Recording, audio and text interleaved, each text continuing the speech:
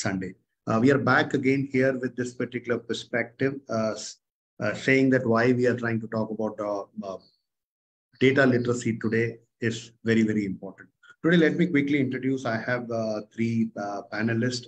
Mr. Ashutosh Agarwal from Sanskriti School is not able to kind of join today because of his health issues. And we are looking forward that in one of my next episodes, shortly, I'm going to uh, uh, get him also to be part of this particular conversation. And but let's try to quickly get into the guest. So I have Mrs. Bhupinder Gogia, principal of Sat Paul Mittal School, Ludhiana, uh, which is ICSE school and uh, caters to uh, multiple uh, profile of people. And this is a school which has completed almost like 15 years plus. I have Mr. Amitav Ghosh. She represents the northern part of country uh, next, we have central part of uh, country, Mr. Amitav Ghosh, again a principal, a good friend for last 15 years, who's leading, was the founder principal of Bhavan's, one of the most sought after institution in uh, uh central India, and uh, he's going to share some of his experience. On the western part of the country, I have uh, Willibrord George, Willie, that's how I'm going to call him across. Somebody again who has been playing with data and catering to a different profile of people 80 kilometers plus away from a city of Mumbai uh, in a place called as Nallasopara. And uh, he is a mentor with uh, Willibrord School, Nallasopara. So that's uh, Willie for us. With just a basic introduction, let's get into the session with the two, three things which I wanted to kind of uh, touch upon in this particular session last couple of months i have been trying to work with uh, you know multiple uh, organizations trying to understand what is going to happen and how exactly these things are going to impact all of us at schools particularly teachers. And when we try to talk about uh, the kind of uh, changes which are happening and the decision making which is going to happen in schools or in in and around us i think we have to see a lot of things needs to come in but one of the challenges, one of the things which came out explicitly is uh, is that if you are not going to have data, if you're not going to have data, you will not be able to take a decision, a decision which is uh, uh, scientific in nature, which is much more uh, systematic in nature. And if it is not happening, then I think you will not be able to kind of uh, make decisions. Uh, people are talking about you know, data when it comes to talk about student portfolio, particularly as such. Thanks to new education policy with so much uh, uh, personalization of education, which is going to be talked, which is being talked in that.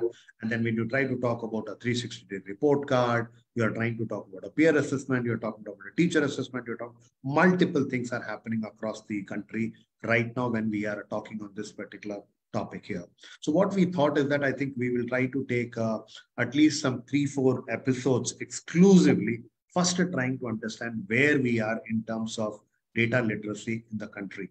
And intentionally, that's why in this particular episode, I have not moved into metros. So many people said, why nobody is there for metros? We said, no, we would like to first go and try to understand what happens in the tier two and tier three cities, and then try to come back to metro and then see that how exactly uh, what are some of the practices happening? The second question, which was asked to me very, very specific, is that are we trying to talk about data analytics? Yes, we will talk about analytics, but if you don't know what we need and what we are collecting, I think analytics will not want to work with us. So what we are thinking is that the next three, four episodes, based on the response and based on the you know questions which are going to come in, we will take a decision and then we will try to show you some live examples how people have used different different uh, you know homegrown methods used technology tools to make sure that how these data is collected, worked upon, and uh, looked upon. One of the very, very, very, very important uh, point uh, when I was kind of uh, uh, looking uh, that I should do a session on this, one of the very interesting quote from Honorable UK Prime Minister in his first speech, Rishi Sunak, he made a very, very interesting comment and he spoke very clearly in that in a world where data is everywhere and statistics underpin every job, our children's job will require more analytic skills than ever before. And letting our children out into the world without those skills is letting our children down. So I think it's a very, very hard, fine and hard hitting comment which came out from the Honorable UK Prime Minister in his first speech and which he talked about it. The third point which came up to me was, uh, are we talking about data literacy for students?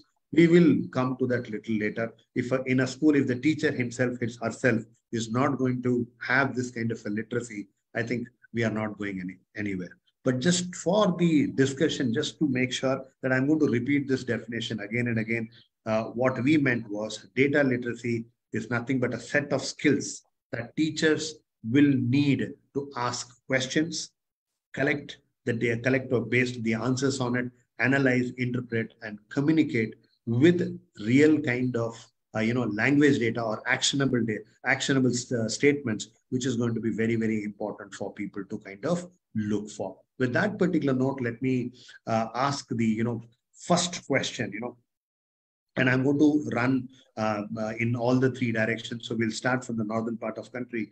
Mrs. Gogia, we would like to ask you this particular question. What are the different types of data typically?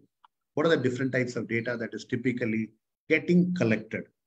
Getting collected in your school in all spheres. We are not only talking about academics, we are not talking about administration, we are not talking about academic administration. But I would like to start from you just few examples where all you are collecting data and what are the different types of data that you're collecting. And then we will go to Willie and then we'll come to Amrita. Yeah. yeah.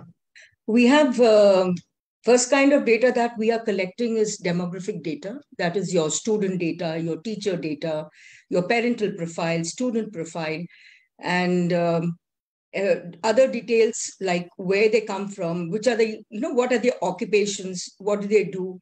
So all that demographic data is collected from this play from one point. The other point that we collect is where which every school does, that is your academic and co-curricular, that is your achievement-based data, wherein you're getting data on uh, the academic scores, the academic performance, the performance in co-curricular activities, in sports, etc. Then the third kind of data which we have is the process data, wherein we are talking of the various processes that we are doing and how we are going about a particular thing. For example, if I'm having infirmary data which is getting saved, for what, what is the format of it? What kind of data is getting stored and how are you moving along with that? When you then talked about is, that, one minute, when you talked about that infirmary data, what is the kind of data that gets collected in infirmary? Uh, well, in infirmary, like every month, the school doctor has to give me a uh, report, which is a graphical report on the number of uh, students who had come to the infirmary and for what reasons. Fine, that's okay. So now you can continue. I just wanted, you know, yeah. infirmary is something which not many No, and this this kind of data is also collected for teachers and the support staff. Okay. Both. And uh, the fourth kind of data is, of course, uh, the survey data and the perception data, which we take, like recently, my students gave a feedback on the teachers. Now my teachers will be giving a feedback on the leadership team. So a kind of, you know, date, gathering from them, what is their opinion about what this entire year went by? Fine. So thank you. Uh, Willie, what's, what about you? And then I'll come to Amitabh. Yeah. Sure. Thank you. Um, so we we are always very uh, question based. So we are always thinking about what is it that we want to change, what is the next new project that we want to do, and once we have that in place, then we start collecting data because then we we actually know what's the kind of data that we really need to collect before we start working on uh, on um, uh, you know on it. So one of the things that um, uh, one of the projects that we are working on right now is to build a new curriculum. So um, since we want to build a new curriculum, we're taking as much data as possible in terms of uh, what are the resources they have at home, how much time do they have, do they have people at home who are going to be working uh, with them, uh, what is their level of tech skills, and you know that kind of background we're taking along with uh, we're looking at a lot of information around teachers. What is it that where are the skill gaps what are the uh, improvement areas that they need to do? So all our data systems are based on a very very specific process. Uh, this is admissions time so we are always looking at making sure that parents who want to know more about our school get all the information really fast so that they can consider our school so we've figured out lots of different methods uh, of collecting data to make sure where are these parents what do they like um, uh, you know, uh, people like this do things like that. And so we try to do these associative um, uh, uh, methods of finding the right kind of people because it's not about getting those 200 odd people joining our school. It's about finding uh, the right 200 people who who align with the vision and mission of our school. Uh, and that cannot happen just by putting a hoarding saying that you know admissions open. So we're, we're going out there and looking at the interests that people have, collecting the data, and then literally changing our behavior uh, with them. So it could it could mean uh, changing office times. It could mean changing methods of communication. I'll give you a very quick example. Uh, most of our parents, uh, you know, said, uh, "Up WhatsApp, you know, we like WhatsApp. We don't need, we don't want to do Google Classroom. We don't want to do this that. We like WhatsApp."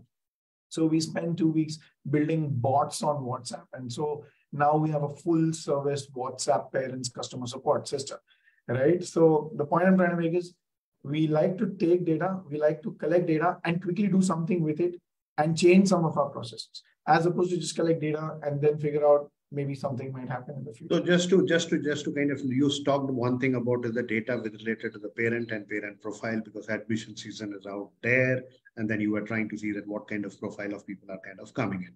What are the other areas like other than admission that you're trying to look for? Very very specific. We'll get into the how you're utilizing it. We'll get into the little later into that. So what are the other areas that specifically that you're getting? So we've got all the academic data. We we're getting emotional check-ins in terms of are you happy today? What are you happy with? You know, what would make you happier? We are uh, we, we do we're not only doing a lot of quantitative data, right? We're also doing a lot of qualitative data. So we're walking around the school, meeting people, talking to people, checking in, checking with them, finding out how are they happy. You know, what's the general school climate like? Because um, not all data has to be quantitative. Once we take that qualitative rich data, then we can then make it quantitative, right? So there is a there's a lot going on. You know, we, we enter the school like with a with a with a highly super sensitive radar, and we're looking for all the things, including uh, uh, if I ask a question to if I'm taking a meeting with with with 15 teachers, if I ask a question, what's the speed at which the hand comes up, or you know who raises it first and why do they do that? Or enter into a room and i might even say hey why don't you go sit wherever you want to sit? It's free seating and then we start looking at where are people people sitting and why are they sitting where they're sitting. So the point i'm trying to make is uh, for us data is not just purely a numeric value. It might eventually become a numeric value but initially you know data is just this every time a teacher or a parent have said "Hame ye नहीं karna hai hamare school mein," because हमको मालूम hai ki hamara parents ki नहीं hamara parents ये accept नहीं karenge. that is a conclusion or inference that you have taken based on some data points that you have. Very good. So I think that gives a lot of clarity to us saying that we also need to understand our stakeholder profile very, very clear, as Mrs. Gogia also said.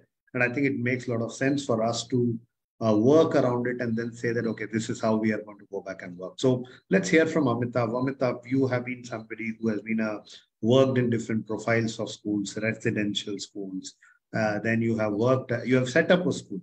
So when you you you have seen the different types of data you yourself have been monitoring, and I'm sure uh, right from number of applications to uh, what you what challenge you have today, you know, with regard to the students and teachers and parents, I think you may be using a lot of data. So why don't you share some of your experiences in terms of data? Uh, well, really the process of uh, data collection at school, in, in, in my school, begins at the point where people start walking, walking in to inquire for admissions. Like as a school, typically when it's been 14 years, so I don't uh, have the need to put up any hoardings or anything. So people know admissions begin post Diwali. So they start inquiring right after Dussehra. And that's how the process picks up. So that is where the data collection starts. So basically, uh, when parents register, that's the first point of data collection. Once they come back after registration, the second point of data collection, where a little more detailed data is collected. But most of the data that is collected up to the point of admission is mostly students' data and parents' data. And this also may include certain data like who is your, you know, who is your family doctor, whom should we contact in case of an emergency. So we also have, in addition to parents' data and students' data, we also have a lot of data on the available pediatricians in the city, who is at what distance. So this is one form of data, I think student profiling and parent profiling, first form of data that gets collected. Subsequently, as child school and as as we get to as the child starts you know uh, interacting in school and as the child goes through the process of school i think in the entire life cycle of the child at school. Typically, a child spends on an average about 12 to 14 years in school. During that time, I think enormous amount of data gets collected because the moment a child enters school, a file gets built up of the child. I think all of us must be doing that process. You, you, you're, you're the, when you're saying file, it, it basically means the child portfolio per se. The child portfolio. Then hmm. that file, right from class junior KG, starts getting built up.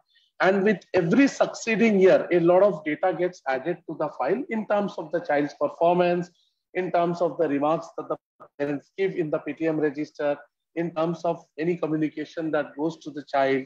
So that is the second level of data that is collect that that gets built up over the years. Now, in addition to this, then there is this academic data that also comes as the child keeps growing in school. in addition to this, there is also a third range of data like that keeps getting built over a period of time, and that is the administrative data. So data on what is the inventory in school, how much of things have been used in school. So like monthly consumption. So suppose there are washrooms and you require, you know, you you you you need to know what is the amount of uh, things that you are using in the washroom. How is the maintenance of washroom done? Then those data also gets generated over a period of time, which eventually after one year. So when we take a stock and when we look at the budget, I think that's where we also um, start using the data. So typically in a school, in addition to the parents, the child's profile, the parents' profile, the profile of doctors, the profile of, you know, the, the academic profiles that get built and the administrative data. In addition to this, you also have, ma'am said that the infirmary, we, we call it the wellness room. So a lot of data also keeps, keeps getting generated in the wellness room which is in addition to the inputs that the parent gives at the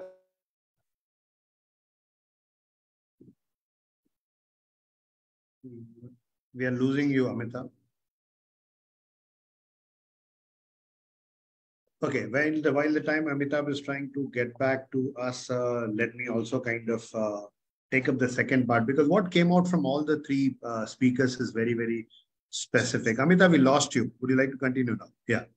No, no, I said uh, so. Uh, students' data, parents' data, the profile of the child as he admits, as he gets admitted in school over the past 12 years, enormous amount of data in terms of academics, the administrative data in terms of everything, maintenance of the school building, the material required, all these data, these are basically the types of data get, that get generated in school. And this also includes a lot of health specific data, a lot of physical uh, no, data on the physical and intellectual abilities of the child. Sure. I think these are the different types of data that uh, we have been building in school. Sure. So thank you, all three of you. I think it came out very, very clearly that uh, first and the foremost thing when I, what I'm trying to understand is the segmentation of data needs to be purely based on the stakeholder profile that we are trying to cater to, whether it is a student, parent, teaching, non-teaching staff, and then further we can kind of get into academics. Uh, then you can look at you know wellness like what uh, we heard. And then we can also start looking at it how it can be you know helpful in our own initiatives uh, per se as such. But i think one one particular thing i would like uh, all three of you to ask building on the first question itself is uh, do you think the age of the school matter in the what kind of data that do we collect any, any one of you can start. Age of the date, age of the school. First five years, first seven years, 10 years, 15 years, 20 years. Do you think the uh, the data collection, uh, data, what whatever get whatever we're gathering, does it change over a period of time? Yes, it yes, does get changed. Like in the initial years of the school, uh, if I look at the parental profile, I would have parents from the business families, mostly uh, almost 95% coming from the business family but as the school started, you know, establishing itself with an academic reputation, doing well in all spheres, you see that there's a working segment which is coming into it. You have bureaucrats who are joining the school. You have parents where both are working, which are coming into the school. So the entire profile of the parents has changed. And similarly, what we were doing around 15 years ago and what we are doing now are changed. Because based on the parental profile, you will have to change many of your practices Correct. to make sure that now you're meeting the, your needs of the present time. Sure. Uh, Willie? Well, I think um, data has an expiry date. Uh, okay. That's, that's, the way I look at it. Um, a lot of the data that we collect, uh, as, I, as, as I said earlier, is very focused because we want to make some change. Uh, we try to be, we try to lead with data. We try to lead with change. Um, by by by what I mean by that is we are very intentionally setting where the school wants to go in terms of its academic pedagogy, in terms of its uh, academic vision, instructional pedagogy, in terms of the social aspects of the school. So we try our level best to set the course, right? And when we are setting the course, um, we're using data in short bursts of time, right? Short okay. bursts of time. We don't collect data and then wait years and years and years because data just changes. And most of the time, when we look at the way data is also collected, um, that may not give us very accurate sort of data.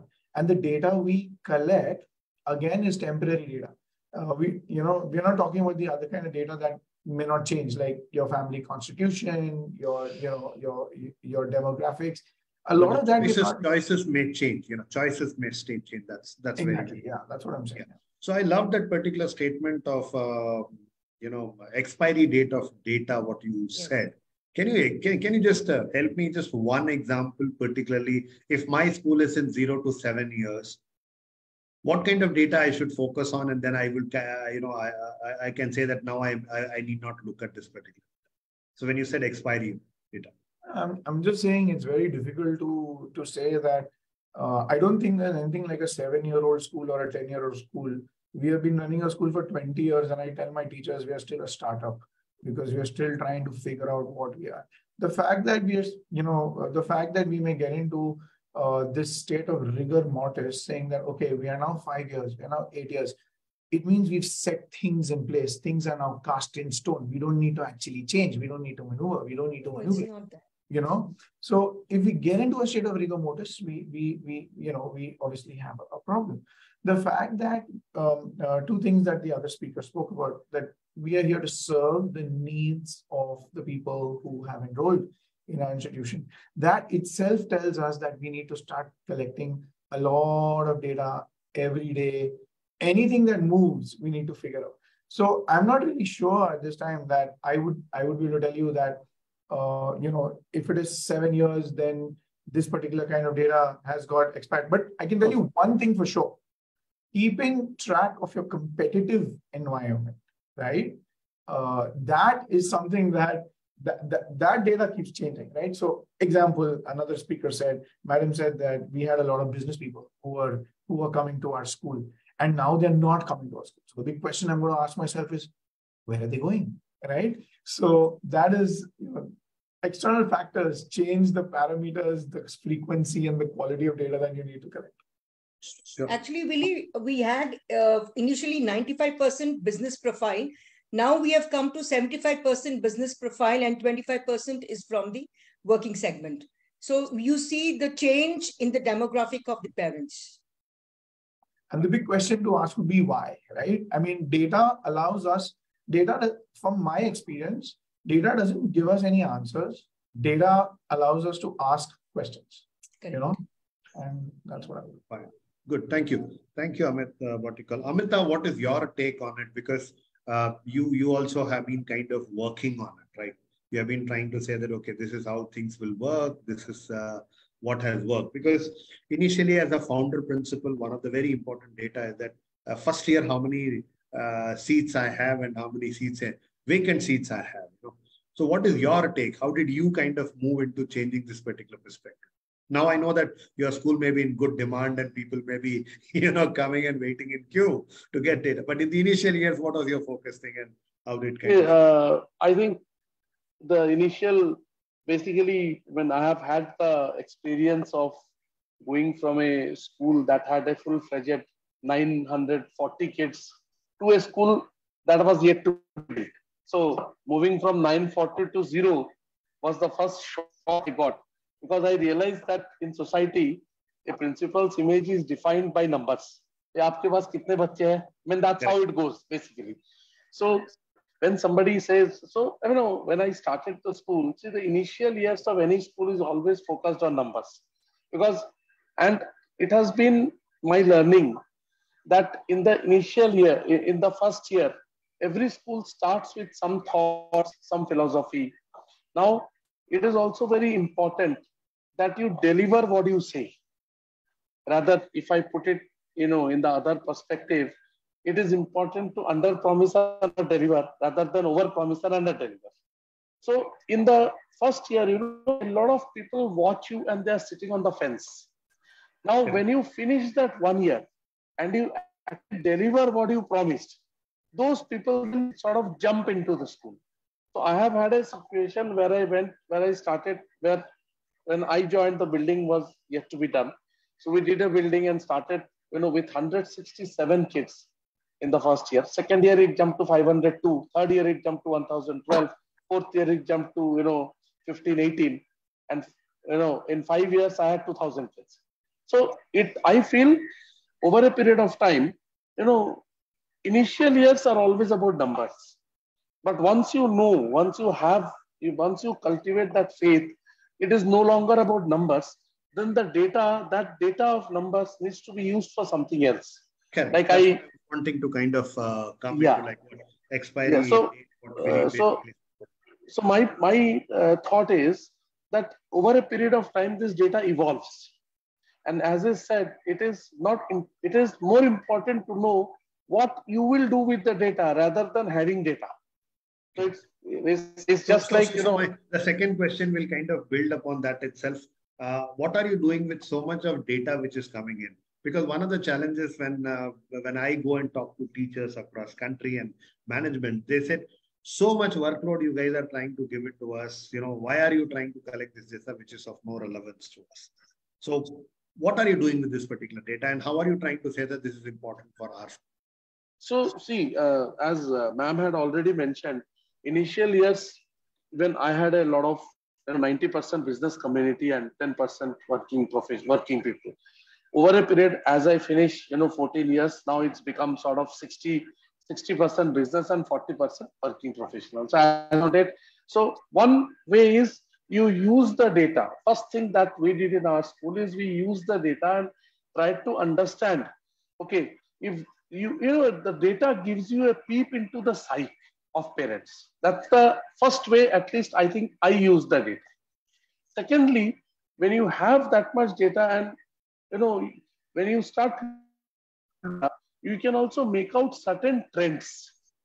You can make out certain trends in the data. Like, okay, this data is like when you look at the data of children who are availing the school transportation, you can feel that the concentration of children in a particular area is high.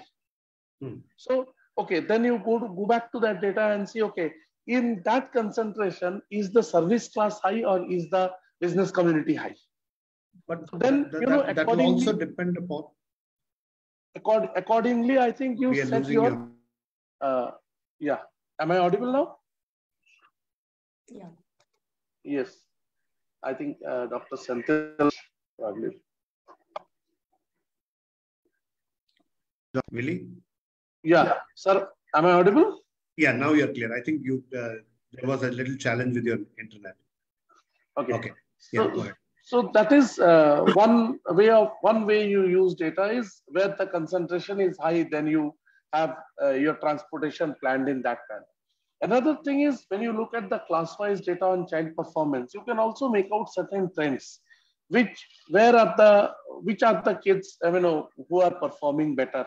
In in very simple terms, I mean, you can always have that you know feel that okay, this is a particular when you look at the background of the kids and you see you can always know that okay this this uh, kids are doing better. So then how do we work on those kids and how do we work on the kids? How do we give them enrichment and how do we give the other set of kids some remedial? So maybe you know in in different ways you know it is also important like in administrative data you you, you also need to figure out uh, when the load of the kids on the washrooms is the highest So at a point of time, there are 2000 kids in school. So when do washrooms need to be cleaned so that, you know, uh, there is that uh, specific uh, hygiene maintained in school. Correct. So you need to clean the washrooms when all the 2000 kids are there in school at one point of time. Maybe morning, the frequency of cleaning could be less.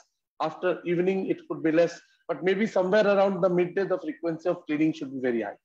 So, Correct. I mean, different ways of looking at data. Mm, that's that's my take. Sure, Willie. Um, I think that was the question. Uh, what do you? How are you? How are you using? What are you doing with this particular data? You're collecting so much data. You said that I you're know. already. I mean, I mean, uh, I hope you take uh, my answer in the spirit in which I'm saying it. A lot of my time, a lot of my time, a lot of my cognitive energy, um, a lot of my bike rides, a lot of my walks in the evening, a lot of my candlelight dinners with my wife also is, is spent thinking about how much of that data I need to ignore. Um, because, you know, so much of the data that we're collecting um, uh, you know, might might tell us the wrong things. It might tell us uh, things that might take us away from things. Let me give you two examples. First is a proverb which said that uh, the genius of a man or a woman is knowing, you know, how much and when to ignore, right? Correct. So that's important. because, because data might change over time, and if I saw it today and then I took a decision, it could be knee jerk for me, right? That's the first thing. The second thing is this whole Pygmalion effect, right? You when we start taking data and we start seeing that some kids are doing well and some kids are not doing well, and then if we take the decision of publishing that data among children, among teachers, then we may start putting the sense of you know uh, inequitable industrial age educational system where parents, uh, teachers may even feel that things may get instituted, the wrong things may get institutionalized. Uh, people from this pin code people from that bus route may tend to not do well versus people from this you know so i'm very scared about what is it that i publish what is it that i talk or what affects me because then that might get me away from my vision of building an equitable uh, you know educational system that that that ensures that every child gets the best right so Correct. setting belief and high expectations, regardless of your identity and where you are, who you are, what your last name is, is, is, is so essential. So that's why I keep saying that while a lot of this data really helps us take administrative calls, it helps us build efficiency inside a school system. Um, our goal as, as, as loving, compassionate educators is to be able to build effectiveness of learning and making sure that our children are receiving the best from us every single day. So yeah, yeah. I spend a lot of time thinking what I should ignore. so the art of ignoring is something which teachers really need to kind of build upon over a period of time. Yes, Mrs. Gogia, please go ahead. What's you? Uh, how are you? What are you doing with so much of data? You already shared some yeah. examples. Um, to, to first start with the infirmary example itself. See, the data which we collect from the infirmary, uh, it, it is presented in two graphs, one for the staff and one for the children. Now, when uh, every month I get to see the major areas in which children have been visiting infirmary.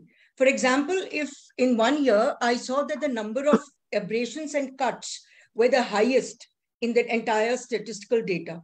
So then what did we do? We try to keep, a, we try to look into what are the areas into due to which you had your cuts and abrasions. Then you realize that in the basketball field, the children were getting maximum cuts and abrasions. So then what you did was, in the summer holidays, we got the entire basketball court renovated. So you, you're taking an action based on the data that is coming. Similarly, I think last month, we had data wherein we had maximum number of children having stomach ache. So then we said, okay, maybe they're eating stuff which they should not be eating or eating in a wrong way so we called a doctor who, conduct, who conducted a workshop for the students and the parents that what is the right eating habits, what kind of food that the children should be eating, and how can you ensure that the child has a mix of both, only nutritious data and also a part of it being the other data, other food that they eat. So uh, that's one kind of data. So you spoke about teachers being uh, overburdened by data. This is one. Well, I get that. I get to hear that very often. So um, I think uh, all thanks to you, the entire school is working on the annual academic planner. So teachers have mapped the syllabus, the learning outcomes and the assessments and the pedagogies, etc. So why did we, what are we doing with that data? We realize like when we talk of data liter literacy skills, you realize that perhaps you have not done graphical representation of data in, it's not going, data interpretation is not going across grades. So somewhere perhaps in one class, that particular chapter itself is missing or it's not getting integrated in any, any particular subject. So then you, you complete the gaps, you fill the gaps as you're going. So as the teachers are doing, now they're realizing that, yes, it is giving us these, you know, we're getting to know why children were not performing in a particular area or why is it that class five children have a problem in class six where Punjabi is concerned or English is concerned or any other subject or similarly in the senior school. So that's how we utilize data. Sure. Um, Amita, the next question is that uh, what, what do you think how your teachers are responding to this particular point of collection of data. It, it is such a pain point and i think i'm i'm here only uh, you know talking about their concerns because this is one challenge which we keep hearing. So amita what is your teachers are trying to say and how do you manage this particular point? I think as far as the collection of data is concerned uh, i haven't felt any pain point from my teachers as yet. Uh, we have been collecting the data, but as I said before, I mean, uh, it is more important to know what you will do with the data because many times, you know, you have to give the background that we need this data for this.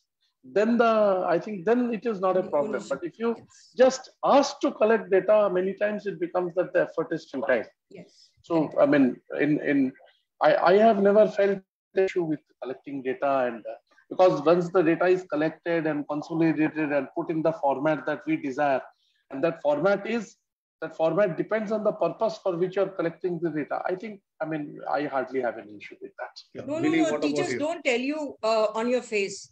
Uh, when, and in fact, when you have to do any process, like unless you take teachers on board and you explain to them why you're doing a particular process, you will never be able to get the information that you're trying to get. So you're taking your teachers on board, you ag agree, you know, that yes, we will be doing this thing because we need to do this for these particular reasons. But then, you know, being a teacher, even I'm a teacher, so I know this, that the moment I'm given more work, I tend to crib that what kind of so much of work has come in. Why the hell did I do I need to map the pedagogies or why do I need to map the assessments? That's a very natural trend. But when they start doing it, they realize that they're finding value, then they, they are okay with it. So the month of uh, January, I think when we started, there was a lot of cribbing. By now, everybody is understanding why the data is being collected and what are we doing with the data. So it's it's the maturity level of the teachers which takes time. Yeah, Willie. That's what I said. You you need to go back and you need to give a background as yeah, to why you, you can't just trust anything. You you need to give a background. Okay, Correct. this is the reason. I agree. This is what I we agree. are going to use the data for. I mean, then you will not have any resistance. I mean, that's yes. what at least I, I do. And yes, yes, true. Sure, sure. Uh, Willie, paperwork. What is your yeah, I, what is your take in your school? So probably in terms of kitna paper kar kara rahe aap? You know, that's yeah. that's a question which keeps coming. Sure. So I just want to know uh, respond to paperwork as well as the question that came up before. Um, because I just feel one of my points uh, that I have in my mind is not represented. Um, uh, yes, you got to you got to give teachers the reason why you're collecting the data, right? And and um, uh, sometimes uh, that might look manipulative. if I were like, this is why I wanted, please do it. What we've really realized over time is that, uh, you know, to truly respect the teacher's efforts, uh, we also have to share the results with them, right? Whatever data we get them to collect, we got to share the results with them. And that is something that we are very, very, uh, we do very well, right? Um, so one is we talk to the teachers on why, you know, what is the problem we're facing then we create a hypothesis with them. Then we build a data collection thing. And then we build a data capture slash digitization system, like a system which allows the data to, in most cases, just come up automatically from children or from parents itself. And our teachers are there to ensure that at the point of data capture, the accuracy and quality of that data is high. Okay, so that's something I will. And once that happens, we try and use Microsoft BI or any other uh, you know, tools that do data visualization to create dynamic dashboards. And then we share that data with teachers and we share the data with students and we share the data with parents. Now, there are some, some uh, aspects of data that, uh, you know, we don't, we, uh, we collect not to share. But then in that case, we don't use, uh, you know, our, our internal teams for that kind So that's, that's otherwise they just think that they, they most of the time what I have felt is the teachers keep thinking about saying that okay we have been kind of uh, we are we are, they are, we are just being used by the school to just collect data but why are we done? So one of the challenges which uh, one of the schools basically teachers basically mentioned with me is that uh, uh, we have something called as a year-end uh, survey or satisfaction on the school work uh, on, on our, our, our own school per se so when you talk about the school as it as it is and what teachers are feeling, and they don't get a, a presentation by the principal saying that we collected this particular data from you, and this is the whole thing. Based on this, these are the two policies that we have kind of worked upon it. And I think that's something which is very, very important uh, uh, uh, you know, uh, to look at it. But one of my challenge probably after working with multiple types of school is that we talk about what this word vocabulary, which is called as personalization in education. And the core of a school is that, okay, fine, all the other data, I'm okay with that. But if you're not using the data to personalize the teaching learning practice or that learning for that particular child, uh, why are we even collecting that kind of data? So I would like some concrete examples from uh, three of you that how, how is that that's happening in your campus, you think, and anybody can start saying that uh, how particularly in the learning process, the data is getting used and then trying to work on it. Because what I, why I'm asking this particular question is with new education policy talking so much about a 360 degree kind of a data, and if a teacher doesn't have a data, because uh, I would not like to, you know, comment on my own example, but typically in most of the schools, when you go for parent-teacher meeting, you get to hear, okay, your son is doing like this, your daughter is doing like this. And if they're performing well, they are not performing well, I think you just give them the whole thought. But how exactly the child's data in terms of personalizing it and then taking it across? Anybody can start. Yeah. Whoever would like to say. So I uh, doing my dissertation for my MIT. So uh, my topic was achievement in mathematics uh, using gamification. Okay, so then uh, we taught we took a simple topic and it was taught to the children and uh, we decided to use two sections where the teacher was going, the same teacher was going. So in one class, the conventional way of revision was done before taking assessment. And the other class, the teacher took the child to the computer lab to play a game. The same topic was being taught using gamification. So what we saw is that in this, the children who perform well will have the same kind of performance when you go on the gamification side also. But children who were having any some kind of learning problems, learning issues, or in fact, there were some dyslexic children or some children who had learning disabilities. Now we saw that there was an improvement of 60% in their performance when they were using a gamified data. And you realize that because that's because it's in a non-threatening environment that things are taking place. Perhaps it's just a game for the child and that's how the concepts are being revised. So that's one place where i can see that you know data can help in helping uh, in getting personalization of the data. Also when you see the performance of the child you make your individualized child we have children who are who are special children. So therefore the worksheets which are made the curriculum which is designed is completely different for those people as in comparison to the others once they come up to the particular mark, then they are integrated back into the class. So for all academic purposes, the child is getting individualized attention. And then for all sports and co-curricular activities, the child is back into the classroom. So that's how we have tried to personalize data where uh, our school is concerned. For teaching learning process. Yes, uh, uh, Amitav and Willy, anyone? I think Willy can say then I'll give my comments. So So yeah, this is a this is a big area of improvement for us because uh, the one thing that has always been perplexing me is uh, in the month of April, our school starts. I mean, most uh, state board school starts in the month of June. So by um, by April, uh, annual calendar is ready, academic calendar is ready, timetable is ready, teacher is hired, everything. Right? Syllabus is kind of chopped up and neatly placed in a nice little sequence. How do you reteach? How do you uh, how do you personalize? Um, syllabus is already gone saying first term mein ye ye chapter se ye questions you already I mean, not you. I mean, we we've already done all that, right? Now, that itself is trying to say there's no personalization.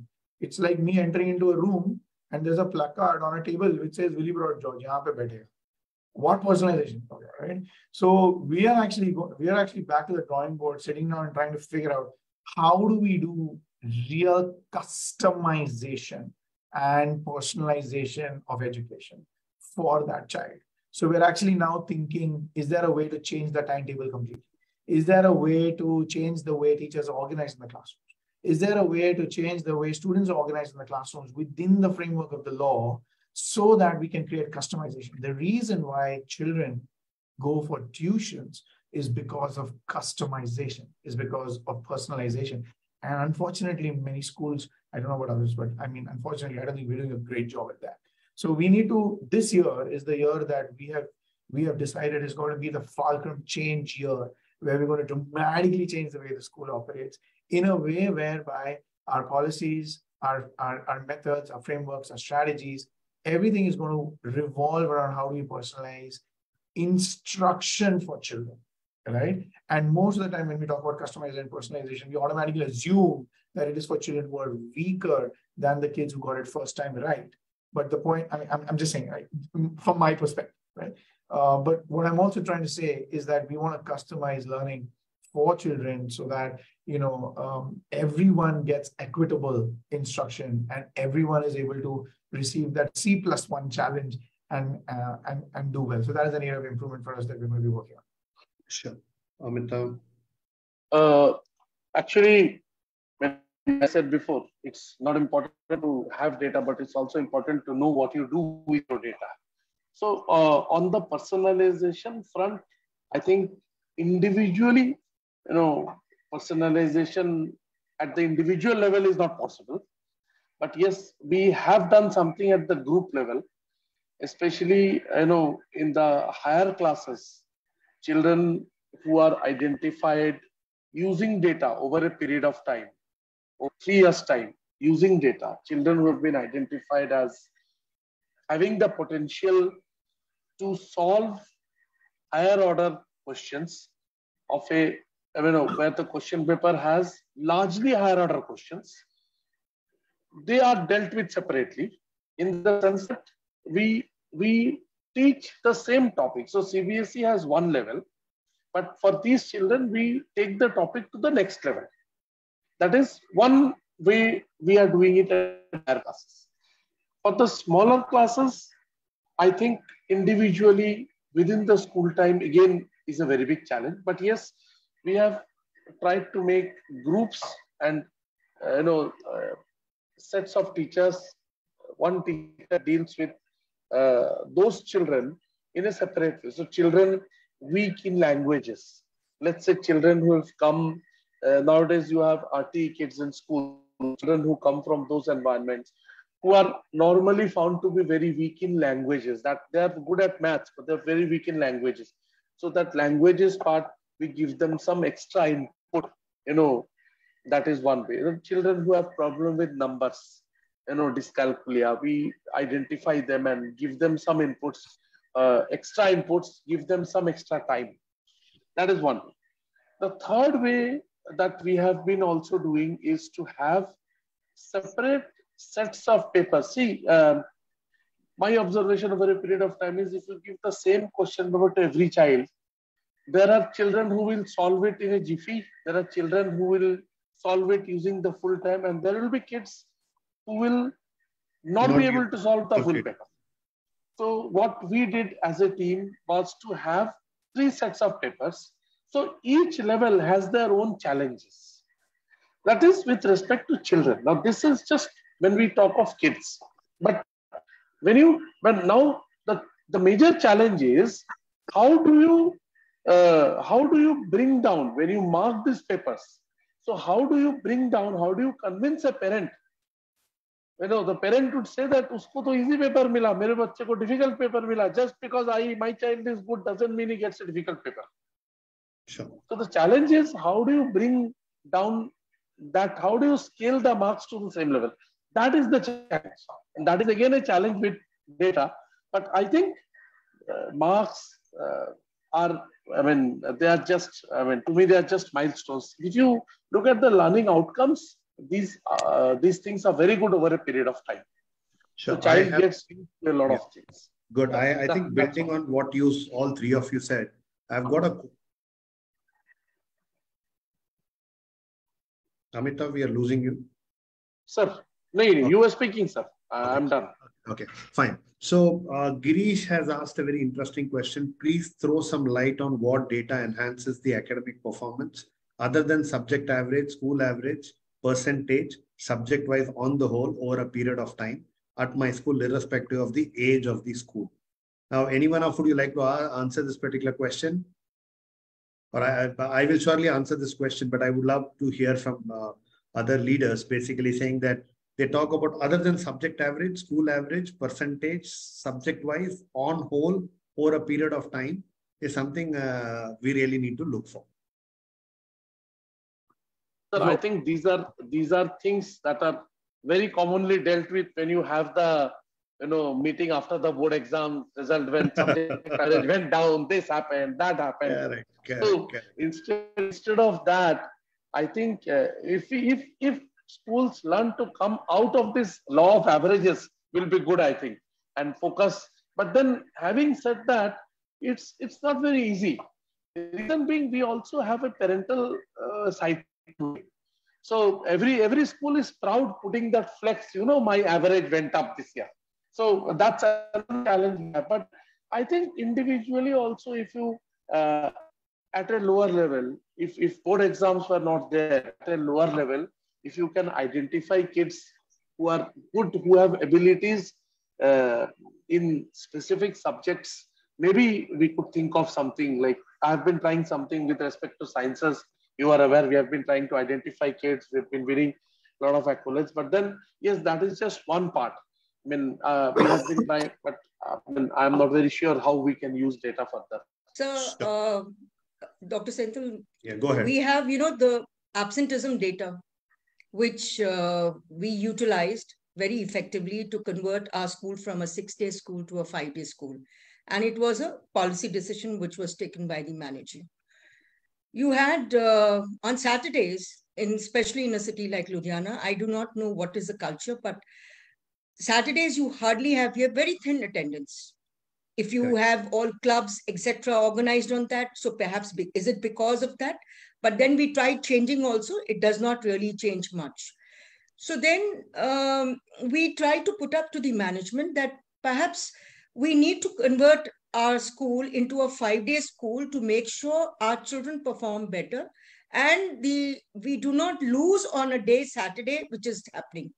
So we collected the data of children's presence in the 3 years right we saw that okay this this particular class every across the school there's a sharp drop in attendance on saturdays so then after done doing a lot of calculations we realized that on the first Saturday and the fifth Saturday, children will be coming. And on the other Saturdays, it will be off for the children. However, the school time got increased by half an hour. So the attendance data was a nice input for us. Also, the attendance data tells you a lot of things. Is the child facing some issues in the school due to which the child is being absent?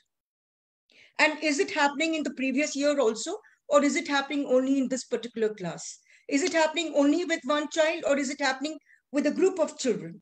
So you can make out what's hap- what is the culture, what is the ethos of the system, what are the reasons due to which this is happening in a particular in our school. So I we use even the absenteeism data. In fact, uh, we have uh, data, you know, for teachers when we do timetabling. Lot of you and cry. You like that one was your favorite. So you gave these subjects to that person. This one is your favorite. Therefore, this class was given to her. So we have a role-based timetable, which you know that we have implemented some years back. So each one is the load is calculated of the teacher based on what kind of duties the teacher is performing. And the chart is put up in the staff room so that there's a clarity that if somebody is having these classes, this is the role. Now, wait, classes assignment is concerned. You have the performance of the grades, which comes to you. We take a feedback from the students on both the implicit and explicit features of performance of the teacher. So we try to see the performance as well as the you know the academic the review of the children or the feedback received from the children and then accordingly assign teachers. So there's a scientific method. If teacher comes to me and says that ma'am why am i not given class 10 well i have data with me to communicate that you know this is the reason why it's not being done. So that's how we also utilize data. Yeah. anything quickly willie yeah. before i kind of take up uh, there are some yeah. questions. Quickly i'll read them. So you can also see if you would like to address one of them uh, Jaspreet Kaur says that well said, Gogia ma'am helps teachers to work. Girish Arbi says one of the ways to conduct a blame game free PTM is to share data on the areas of difficulty and improvement strategies for comparative. Uh, Nina Shwari says, okay, data does help, especially for all the planning in time to come. Ria says, uh, that's the way the rich becomes richer and poor stays poor. Madhu Singh talks about personalized learning is possible only when smaller class size and Ekta Vaishnavi says the difference is, as Sir said, it's challenging. So these are some of the questions and comments which have come. So really, it's all. So yeah, very quickly, one of those questions were around, uh, you know, uh, mean median mode and just student data in terms of assessment. Uh, obviously, the person who asked that question is looking at trying to uh, solve a problem around how do we, how does he increase the learning levels in his classroom? That's that's that is essentially what I'm thinking about and he's also looking at data more in in, uh, in the terms of one particular student and that particular student's uh, uh, performance in a particular exam uh, and that is that is his reference point.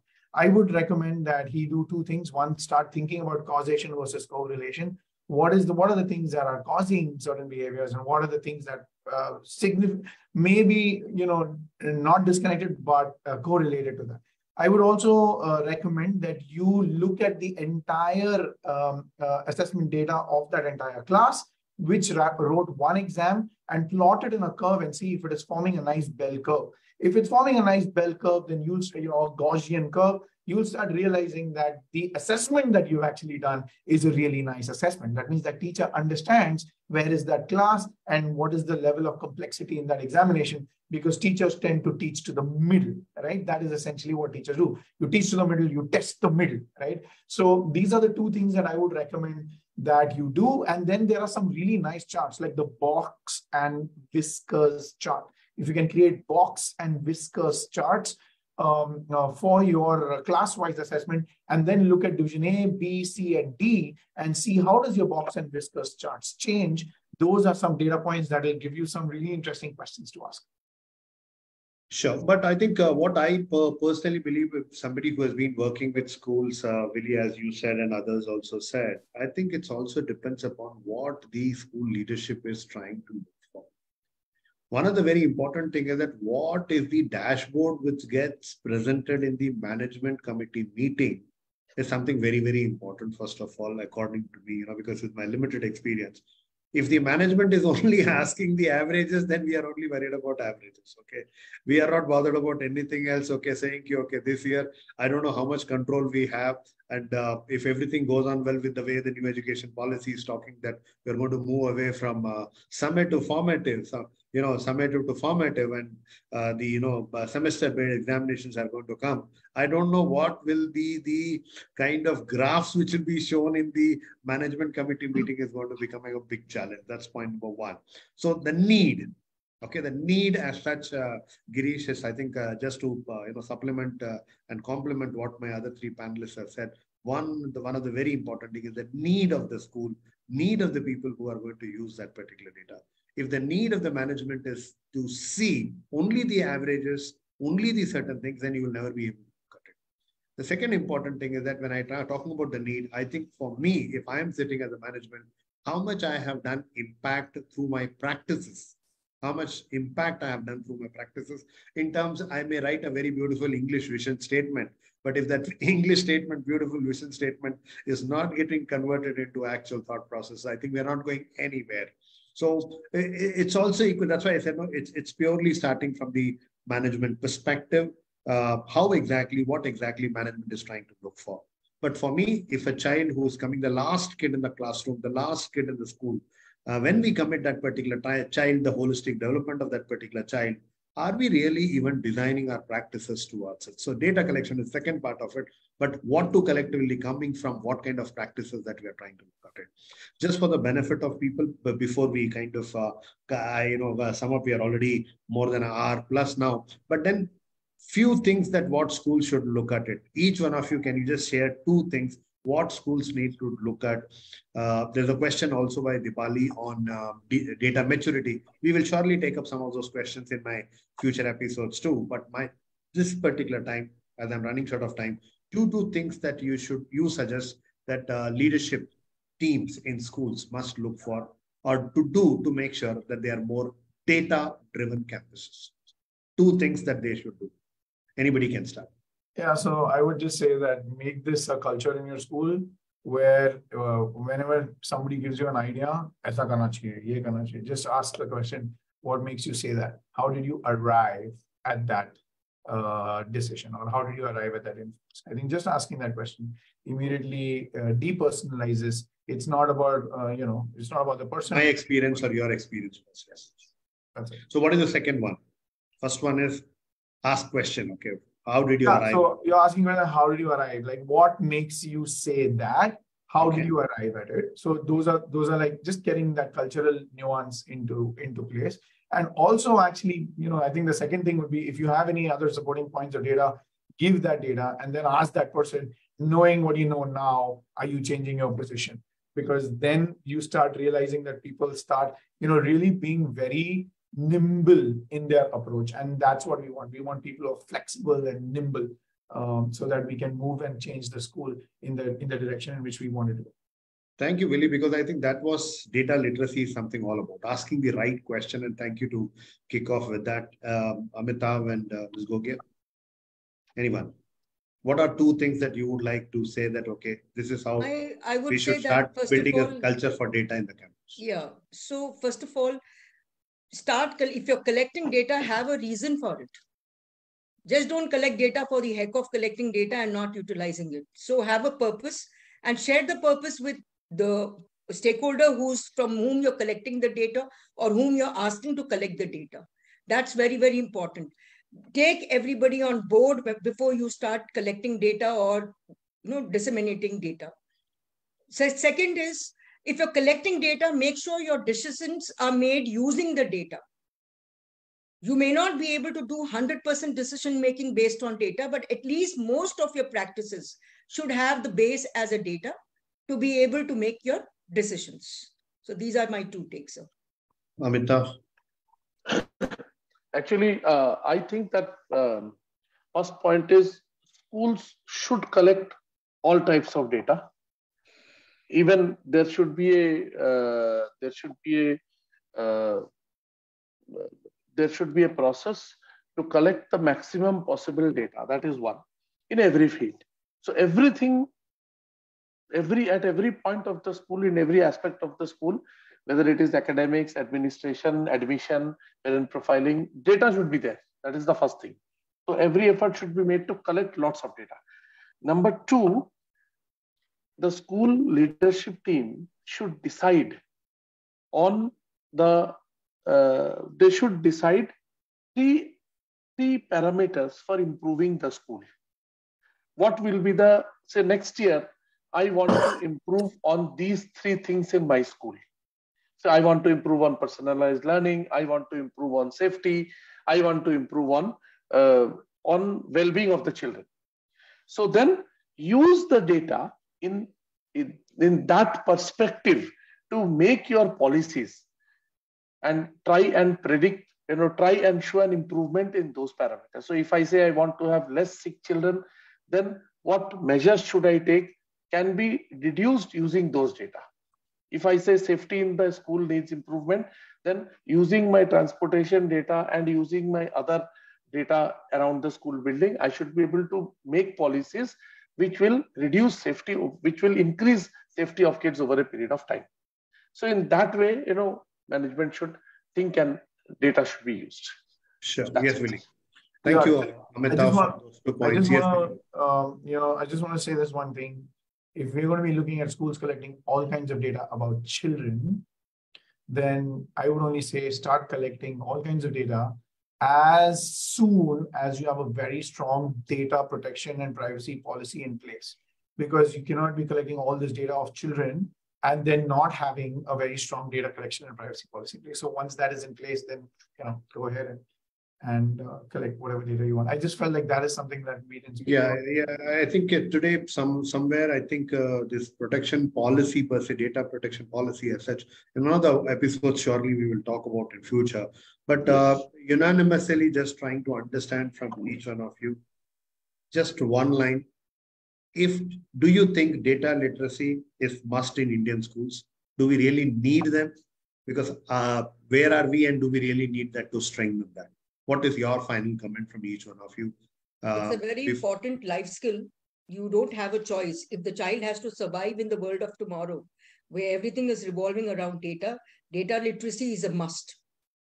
Fine. And we are in every school is doing it in some way or the other, but we need to make you know focused attempt to make sure that the data literacy is being strengthened across the classes. Sure. Yes, Amitav. So 100% requirement of data literacy. But it is also important that along with data literacy, we also focus on how, how to build on that literacy and what we do. So along with the protection and all this, I fully agree to that. Yeah, really. I completely uh, agree to the fact that all our children and all our teachers and everybody needs to have a very data-driven decision-making approach because I think today children have so many options and so many different uh, you know things that are thrown at them and they need to find ways and methods and have strategies to take the right decisions. And uh, we only hope that the decisions that they take are not based on the bad experiences that they have had they went through yeah very very so we got i think uh, that that kind of brings it to the uh, end of this particular session with only the refer, reaffirmation that data literacy. Still there is a lot lot lot to be done in our campuses per se. Such and we will surely uh, go for a few more episodes on uh, understanding what's happening in the school, even before trying to talk about uh, do we really need it or how are we going to go ahead and do it. But uh, my uh, my only thing is that uh, request to all the schools and participants who have seen. I think you heard three passionate school leaders who basically shared that there is a need for it, and we are moving into that kind of era.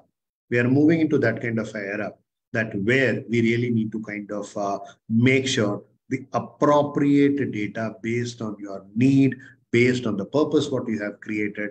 Uh, one of the things which many people say that, okay, now a Hindi, Hindi teacher or an English teacher also needs to know about data. Yes, there is a need that all of us have to go through. So it is not a maths teachers or a computer teacher or a you know science teacher's uh, work data it is every teacher who has to go through understanding, appreciating the data.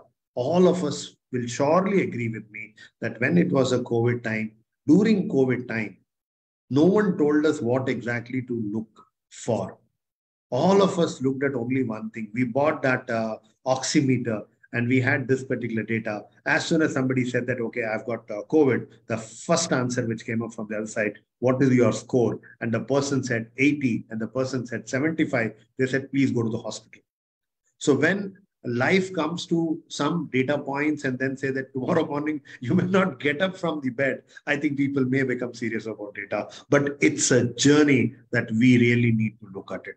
With 358 assessments coming into the country, with PISA kind of examinations coming into the country, with uh, uh, you know CUET kind of assessments coming into the country, data will help the child to evolve to better. We will surely talk about the child perspective, but today is not the day for uh, child's uh, discussion. But uh, thank you very much, uh, Mrs. Bhupinder Gogia, Mr. Amitav. Thank you, sir. Uh, Willie, for joining us for this particular Sunday evening. And this yatra will continue where we will surely go back and work on uh, digital literacy. There are a few questions which have not been answered. I assure you on data maturity and other things, surely we will be able to get into one of our future episodes. Thank you very much. Stay Thank safe. you. All the best Thank to you, you sir.